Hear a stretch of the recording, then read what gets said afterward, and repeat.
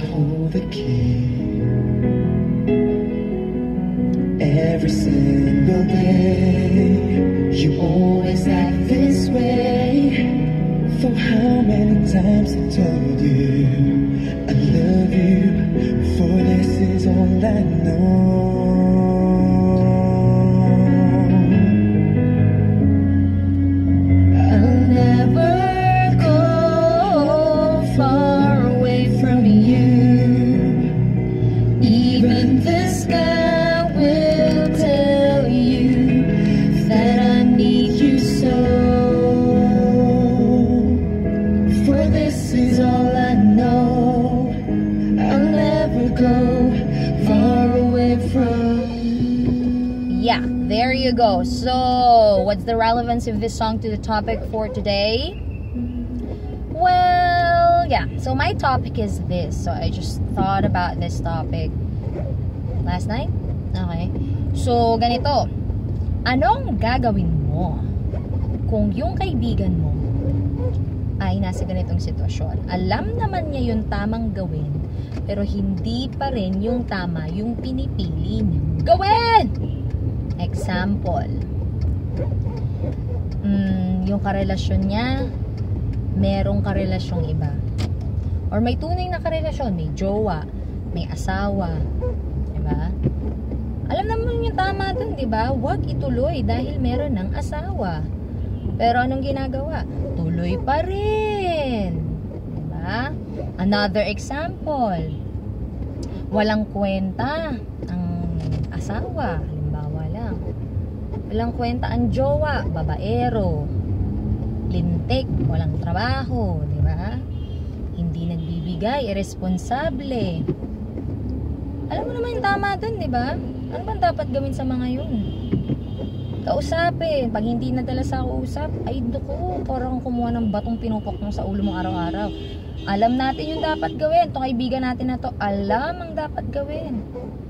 Pero anong ginagawa ni Juan de la Cruz? Tuloy pa rin. Di ba? Another example. Etong si Juan de la Cruz na ito, nasasaktan na. Hindi na mahal. Or hindi talaga minahal. Alam naman niya dapat gawin. Pero anong ginagawa? Tuloy pa rin. Tama. There.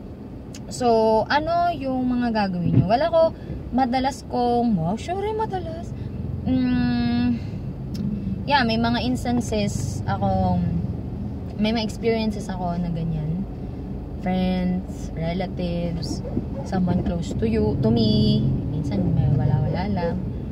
Alam naman nila yung dapat gawin, pero nakakainis na parang, sige, pag una, di ba parang, oh, ganito kasi yan, dadamayan mo pa, sige.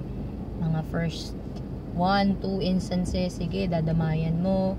Minsan, isi-save mo pa, tulungan mo ko. Ganito, sobrang ipit na ipit na ako. Puntahan mo ako dito. Sabihin mo sa kanya ganito. Gawan mo ng paraan na magkaiwalay na kami. Or gawan ng paraan, ganyan. So, tutulungan mo naman. Ending, babalik pa din siya sa dati niyang gawin. So, anong tawag doon? Anong tawag doon? Mm, well, siguro, mas mahirap magsalita dahil hindi tayo yung nasa sitwasyon ng mga taong ito. Siguro, iba-iba din ang personality, ng character, kung paano natin hinaharap yung mga problema. But then again, Girl, isip-isip, please. Boy, isip-isip boy. Katulad ng, ano ba yan? Wala na naman akong trabaho. Nalulungkot ako. I'm so depressed. Anong dapat gawin? Alam naman natin dapat gawin. Pero anong ginagawa? Ganon pa din. So, well, maybe, anong mapapayo natin sa mga taong ganun? Ano naman connection ng one more chance? Well, siguro, ayan, sige, as a friend, kung ikaw yung friend ng taong nandun, siguro, ano, maganda din na, ah, hindi eh, wag mong sakyan. Kasi lalo mo sinasakyan, na-feed lang yung, yung thought na, ah, so ganun, pwede naman pala, meron naman palang kumakampi sa akin eh. ba? Kastiguhin mo, bigyan mo ng ultimatum kung talagang totoong kaibigan, kung talagang nagki-care ka sa kanya. Kasi kung palagi mong sasabihin na okay lang yan and what have you, kung to-tolerate mo, hindi din, hindi yun maganda. Hindi makakatulong sa kanya yun. Sa improvement niya. Ito pa, kaya ako pala, one more thing, kung bakit ko naisip ng topic na to, ito ah, malawakan, nationwide via satellite. Martial law. Marcos. Alam naman natin yung tama eh. 'Di ba? Alam naman natin yung totoong pangyayari, yung facts. Pero anong nangyari? Guys. Sorry, kagaguhan for me. Alright, I don't know for some of the Filipinos. Pero sa tingin ko, ayon sa feeling ko sa sa statistics ng friends list ko. Sorry, friends list. Thank God na mas marami pa ding alam kung ano yung nangyari. May alam at hindi apologist. Marcos apologist. You know what guys? No more one more chances for these guys. Alam naman natin na history repeats itself. But then again, what are we doing? Bibigyan ng chance? Bakit? Oo, sige. Libingan ng mga bayani. Nandyan ang mga dating presidente. But yung connotation, di ba? Libingan ng mga bayani. Hero ba siya? Di ba? Paglapas tangan yan. You know? Kung pwede lang ma-interview yung mga taong biktima ng martial law, lahat tayo victim actually eh. Na sana yung mga perang nanakaw ang layo na ng topic. Well then, yeah, this is the truth, guys. Ano yung mga papayo natin sa mga taong ganyan? Alam naman yung tama, pero pinipili yung mali or yung ibang way nakakapist So, siguro in general, kung kayo yung nandun sa situation na you care for for this person because he, or she- he or she maybe is your friend o siguro dahil yan kapwa Pilipino mo eh di ba? Kung yun ang usapan. Tapos parang ano ba to? Nakakalimutan na ba natin ang mga totoong pangyayari? Baliwala na lang ba sa atin yung mga desaparecidos di ba? Baliwala na lang ba sa atin yung yung yaman na ano na asaan na? Asaan na girl?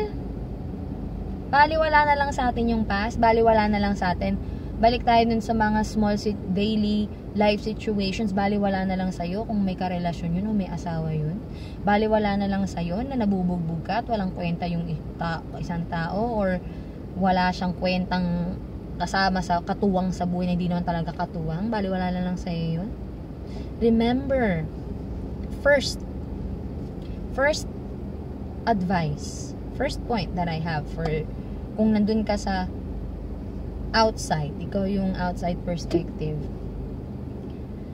Una, wag wag mong i-tolerate. Do something about it. Speak up. Okay? Hindi kasi pwede. Kung mahal mo yung nagkikare ka dun sa taong involved, sa mga taong involved, dapat gawan mo ng paraan in your own simple ways. kausapin mo yung tao? For nationwide issues like yung paglibing kay Marcos sa bibingan ng mga bayani, eh, siguro in your own simple ways, educate people, post, posting uh, something na legit ha, alam mo yan. Yan. You know, it starts with, you know, edu you know, speaking up standing up for what is right. Tapos, number two, two, two. Siguro, ano, hindi siguro, hindi siguro. Educate yourself as well. Diba? So, ano ba talaga, parang ilagay mo yung, doon sa mga daily life issues, ilagay mo din siguro yung sarili mo sa sitwasyon para makita mo yung ibang perspective. Intindihin mo read books maybe, materials para or maybe experience ng iba. Kasi pwede mong gamitin yun pag nakipag-usap ka na dun sa involved, ba? O tignan mo to. Ito yung nangyari sa ibang tao, ito yung ginawa niya, ito yung result, o ba? Ayon sa mga pag-aaral, ganito, ayon sa facts, ayon sa psychology, para meron kang basis pag nakipag-debate ka. Kapag sumuway siya dun sa payo mo, 'di ba? Doon naman sa nationwide issues, ganun pa din. Educate yourself. 'Di ba? Educate yourself. Hindi naman pwedeng dahil ito yung stand mo. Yun na lang. 'Di ba? Maybe may point din yung ano, ibang tao. Bakit dun ililibing? 'Di ba? Hindi na natin alam eh. Paano natin mababago yung mindset nila paano natin sila mako-convince na tahakin yung tamang path kung or piliin yung tamang desisyon kung hindi din naman natin alam kung bakit yun yung tamang desisyon. di ba? Bakit yun yung tama? Bakit paano natin malalaman? Eh, hindi naman natin nare-research or hindi tayo hindi tayo ganun ka-responsable sa pagbibigay natin ng payo. Di ba? So, there. And number three, three, three Huwag kang susuko. Diba? Friend mo yan eh. Friend mo yan eh. Huwag kang susuko. Kapamilya mo yan eh. Huwag kang susuko. Kapwa Pilipino mo yan eh. Huwag kang susuko. Do not have that kind of mentality na sinasabi mo sa sarili mo na ay, naku, wala na to. Wala ng pag-asa to. Bahala ka dyan. Diba? Parang anak lang din yan eh. Kahit na anong pilit niya, lagi siyang mali you'll still pick him up, help him recover. Ganyan tayo eh, dapat.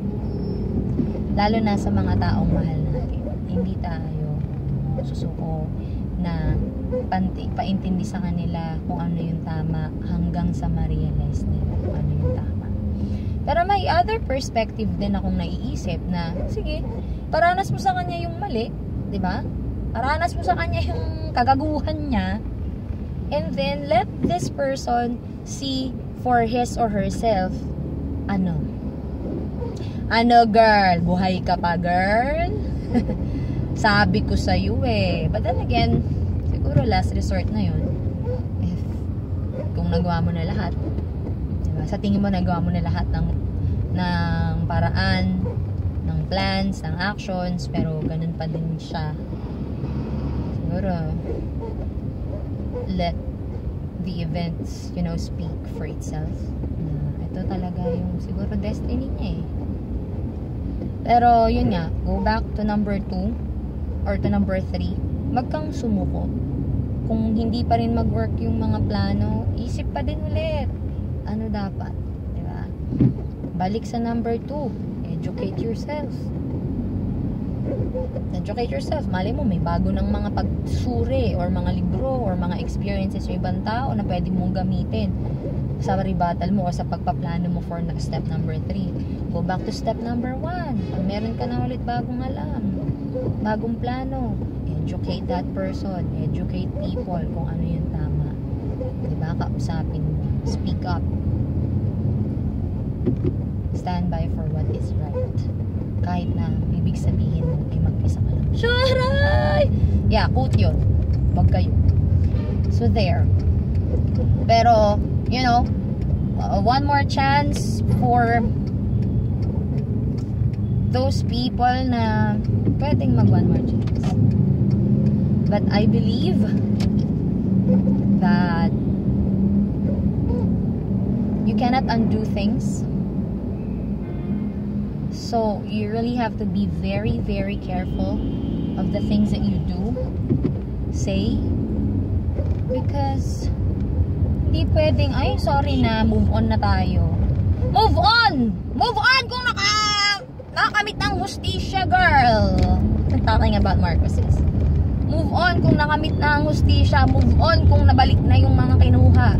Move on kung kahit man lang tanggapin nila eh. 'di ba? Na meron silang ginawa. 'di ba?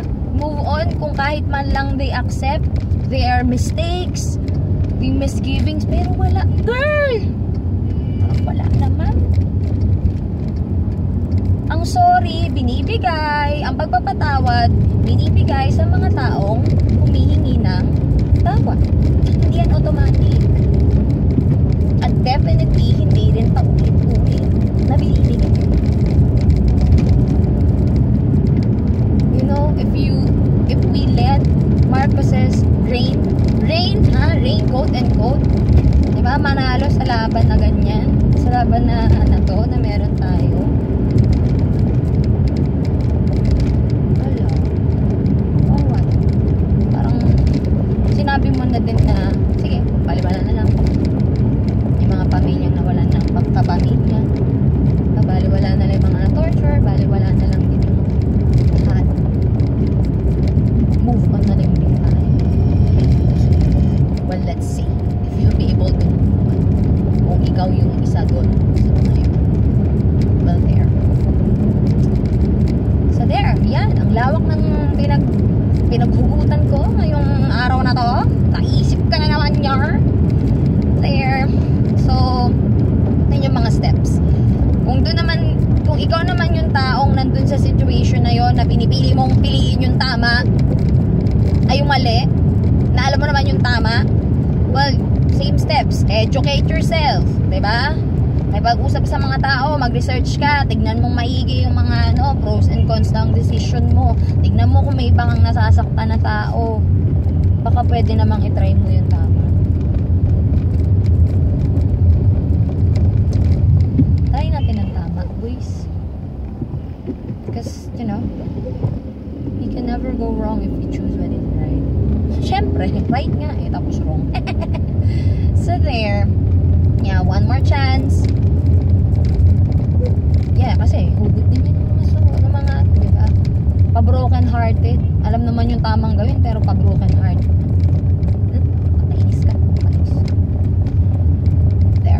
So, if you have any suggestions, comments, violent reactions, sharay. Well, comment below. Follow us in Instagram at The Carpool Show. Facebook, Gab Mackie, colon, The Carpool Show. So there. Ah, yeah, you can also follow me on Instagram. My Instagram account is at GADA1. G H A D A W A N. Twitter account at GADA1. G H A D H E O N E. right there. So, thank you guys for um, listening or for watching. Uh, please subscribe to our YouTube account, Gab Maki or The Carpool Show. Just look for it. Thank you so much. Again, I'm Gab. well, there we go. And you're watching The Carpool Show. Every single day. What the hell? Ooh, it's stopped. Okay, and uh, yeah, a happy birthday, belated happy birthday to my bestie, one of my besties, Lori Dolores, Maria Dolores Roque. Happy birthday, Lori. I love you. Alam mo yan. Ah, magkita na lang tayo sa Sabado. Tama? Sabado yun ba? Okay. Happy birthday, Lori. Bye!